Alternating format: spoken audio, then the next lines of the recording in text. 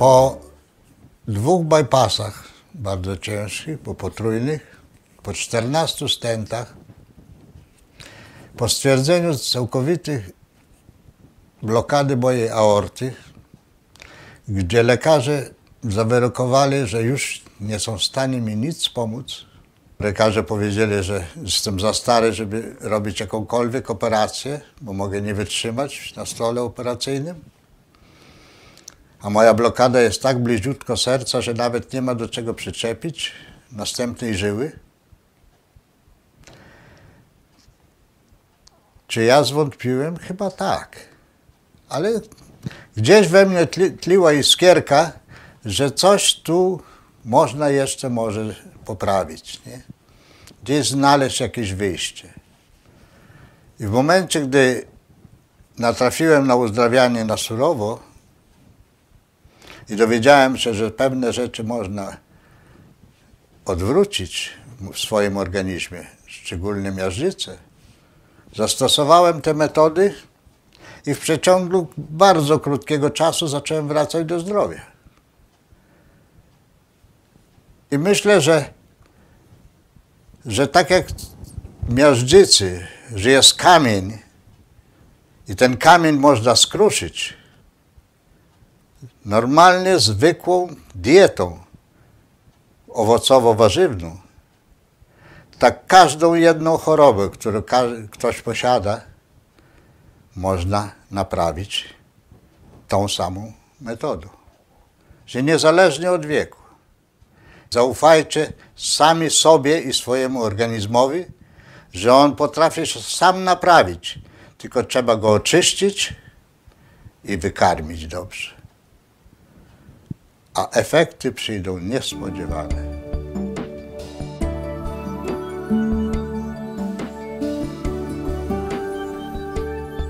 Ja urodziłem się 19 stycznia 1942 roku. Czyli w styczniu będę miał 78 lat. Moja historia choroby zaczęła się, gdy skończyłem 50 lat. I wtedy pierwszy, pierwszy zawał serca nastąpił u mnie. Wtedy ciężko pracowałem, będąc w Australii. I paliłem papierosy. Bardzo źle się odżywiałem. Poczułem bóle w klatce piersiowej i zorientowałem się, że to może być zawał serca. Ponieważ moja mama, mój wujek, moja babcia umarła na serce, dlatego już miałem jakieś doświadczenie w tym, w tym momencie i znałem objawy, jakie mogą być. Błyskawicznie wskoczyłem do samochodu, psa zabrałem ze sobą, bo zawsze z nim jeździłem i na pogotowie. Na pogotowie się zorientowali błyskawicznie, że to jest zawał serca. Ledwo uprosiłem ich, żeby zadzwonili do mojego syna, żeby przyjechał i zabrał tego psa w samochodzie, bo inaczej to była tragedia. I praktycznie to chyba wtedy straciłem przytomność na przynajmniej dwa dni, leżąc na intensywnej terapii. Ale odratowali mnie. Wydawało mi się, że to całkiem normalne używać życia, dobrze jeść, ładnie się bawić, nie? Moje żyły były cał, ca, zawsze niedowodnione. Ja nie lubiałem pić. Ja się bardzo ciężko pociłem, bo nie miałem wody w sobie. Prawda? Moje żyły były cały, cały czas takie jakby mm, zasuszone, nieotwarte na ten. Ja o tym nie wiedziałem. Ja piłem przeważnie wieczorem tylko. Rano mi się nie chciało, po południu nie myślałem o tym, a wieczorem dopiero uzupełniałem wszystkie płyny. Okazało się też bardzo za mało. Oprócz tego moje wyżywienie polegało na tym, że tak jak wszyscy inni. Lubiałem bułeczki, lubiałem ciasteczka, lubiałem dużo mącznych potraw. Nie, nie byłem specjalnym zwolennikiem mięsa. To nie było to, co, co ja lubiałem, ale y, ciasto, pierożki, takie, takie rzeczy tego. No oczywiście zupy gotowane, raz to, raz to, co, co, co lubiałem, raz gdzieś w restauracji, raz gdzieś poszedłem do, do jakiegoś fast foodu. Nie było to dobre. bypassy polegały na tym, że trzy, trzy miałem y, zatory. Jeden około 65%, drugi 75%, a trzeci 85%. Także byłem wyjątkowo zagrożony już śmiercią. I stresy spowodowały, wydaje mi się, bardzo szybko następny zawał serca. I znowu zostałem udratowany. Ale następne bypassy. Ale ja prawie umierałem. Bo ja nie mogłem oddychać, bo były zatory. Oczywiście natychmiast na stół i zaczęły się moje stenty. Wyżyłem, ale już później co roku były prawie następne. W sumie tych stentów włożono we mnie 14. I gdy doszło do, do następnego stentu, męczyli się dwa godziny we dwójkę, żeby choć troszeczkę zrobić parę, żeby mogli wprowadzić ten stent już nie było możliwości. Czyli moja aorta była całkowicie już zatkana. Groziła mi już w tym momencie śmierć prawie natychmiastowa. Moje zdrowie do tego stopnia się y, no, pogorszyło, że już wiedziałem, że następnego lotu już nie, nie, nie przetrzymam. Bo to się czuje. Ja, ja zawsze y, czułem swój organizm. Czułem, ile mogę. Nie? I wiedziałem, że jeśli przekroczę pewną barierę, to koniec ze mną. Nie? Zresztą cały czas miałem przy sobie nitroglicerynę, nie? Nie? która ratowała mnie już w końcowych okresach, yy, ratowała mnie prawie kilka razy dziennie. Także jeden moment nieuwagi i ja już mogłem stracić przytomność i mogłem po prostu już nie żyć. Nie? Także było, było to tragiczne. Nie? Poznałem bardzo fajną kobietę w moim życiu, nie? Nową, bo moja pierwsza małżonka odeszła, nie? I gdy ona wyjechała do Polski, bo była u mnie wizy z wizytą, nie? To zostałem już sam, nie? I już czuliśmy, że już się nie spotkamy w ogóle, nie? No ale tak jak los chciał, zacząłem puszować po internecie, znalazłem wyjście, odmładzanie na surowo. No oczywiście później zaczęła być dieta, nie? zacząłem wyrzucać to, co mnie, mnie zatruwało cały czas. Nie? Już nie myślałem o innych rzeczach, tylko żeby się uratować, że może mi się uda jeszcze pożyć trochę. Nie? nie? No i wtedy odrzuciłem mięso przede wszystkim, bo to mi najłatwiej było, przyszło, nie? nie? Później mączne potrawy wszystkie, jak ja to przestałem robić, to co, to co normalni ludzie robią, gotować, smażyć, przyprawiać i to i tam, a zajęłem się, kupiłem sobie momentalnie wyciskarkę wolnoobrotową i zacząłem soki, soki, soki, soki, soki.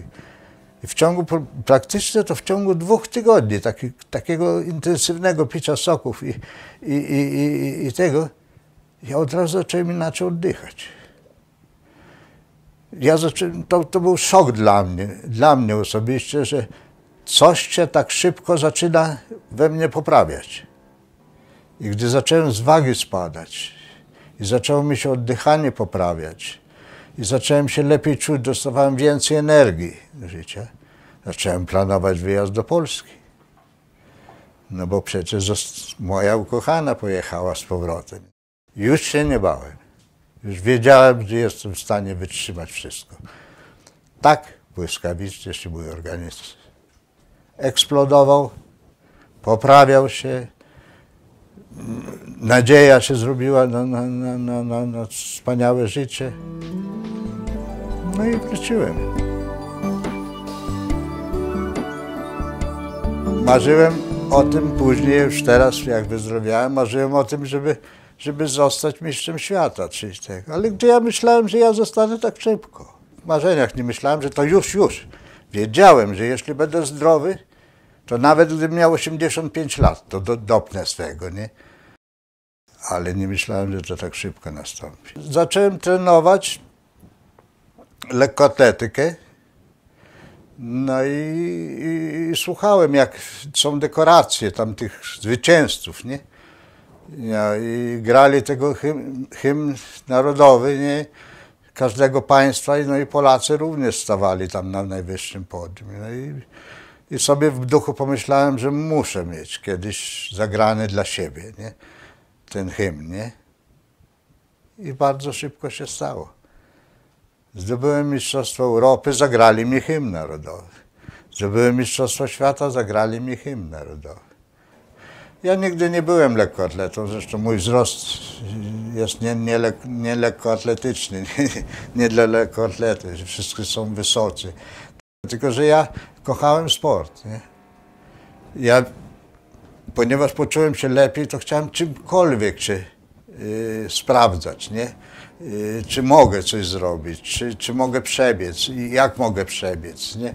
Yy, czy mogę skakać, czy mogę tego, bo bo nie wyobrażałem sobie, wiesz, żeby tylko y, czuć się lepiej, tylko żyć, nie? No coś robić trzeba. Wystartowałem jak torpeda. Zawsze się zorientowałem, że już jestem pierwszy, ale się zagapiłem i tym kolcem zahaczyłem i na pysk. No, ale podniosłem się błyskawicznie. No i jeszcze dogoniłem tyle na tyle, że mogłem brązowy medal zdobyć. Oddałem w trójskoku tylko jeden skok. Tym skokiem właśnie zdobyłem również brązowy medal. Nie?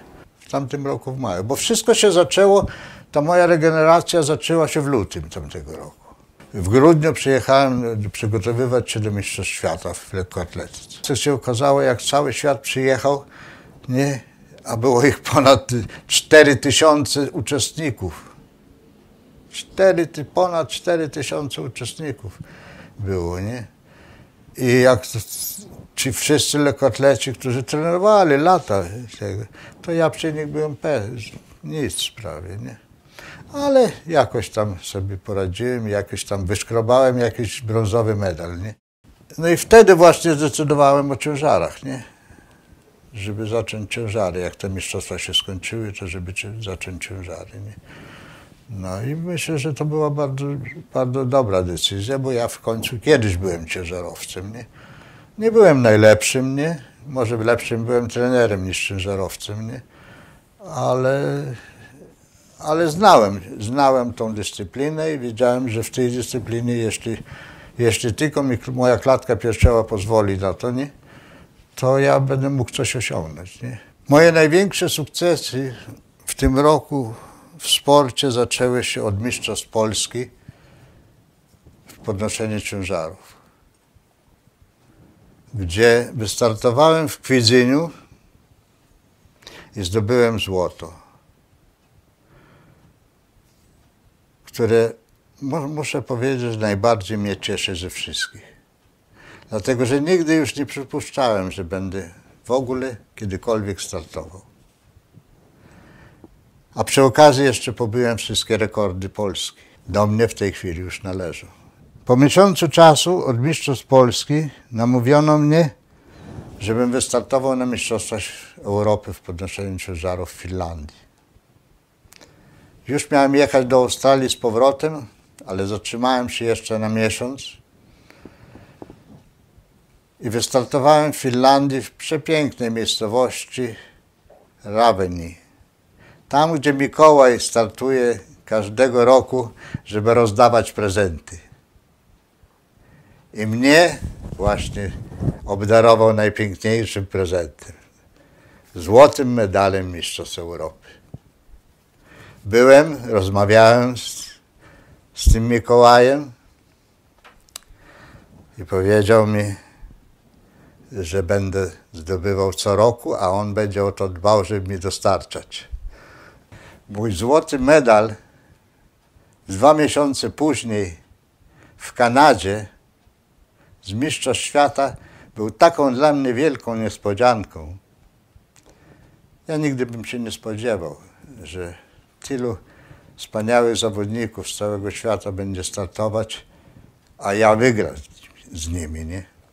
Gdyby nie Mariusz i Agnieszka i jego program wyżywieniowy, Nigdy bym tego nie osiągnął. Dlatego po przyjeździe postanowiłem, że im sprezentuję ten medal, że to ich zasługa I co oni zrobią z nim, to co zechcą.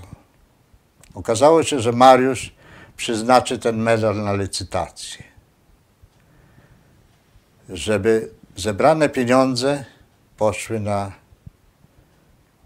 dzieci z domów dziecka. Bo jeśli człowiek nie ma jakiejś wizji przyszłości, to nie ma celu w życiu. A jak nie ma celu, to prawie się nie chce żyć. Trzeba sobie stawiać ten cel, że jeszcze dużo można osiągnąć, jeszcze dużo można zrobić. Nie? No, mistrz świata to jest mistrz świata, ale być rekordzistą świata, prawda? To, to jest też wielka sprawa. Prawda? Nie? No bo, bo zawsze zostałaby to świadomość, że ktoś jednak w tym twoim wieku więcej podniósł niż ty. A jak ja już podnos podniosę ten rekord świata, no to już nie będzie nikogo. Nie? We mnie nie tylko się wzbudziła jakaś taka pasja do ciężarów, nie, do sportu, do pokazania swojej tężyzny fizycznej czy, czy czegoś innego. Ja naprawdę chcę przekazać ludziom, którzy cierpią. Cierpią na różne choroby, cierpią na otyłość, cierpią proszę Ciebie z powodów psychicznych, strachu, nie strachu, proszę Ciebie stresów. Ja to przeszedłem. Zainspirowałem trochę ludzi nie, do tego, żeby, żeby wierzyli w to, co robią. I żeby wierzyli na moim przykładzie, że to można osiągać. Nie? Jak byłem w Cichocinku, to chodziłem po, od ośrodka do ośrodka wczasowego dla, dla, dla, ludzi chorych, nie? I robiłem wykłady nie? na temat, na temat wyżywienia, na temat y, poprawy zdrowia i tak dalej, i tak dalej.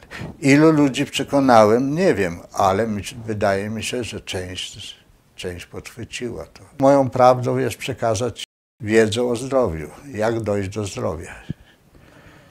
Jak się poczuć lepiej, być szczęśliwym jeszcze i wierzyć, wierzyć, że może w tym życiu się wszystko odmienić. Nie? W jednym momencie. Niezależnie od wieku. Niezależnie od wieku. I niezależnie gdzie się przebywa. Także ja też chcę coś po sobie zostawić, nie? Może kawałeczek zdrowia innym. Myślę o książce, żeby napisać jak, o swoim życiu, jak dochodziłem do tych sukcesów. Coś się zmieniło w moim życiu. I dlatego chcę to wszystko przekazać innym.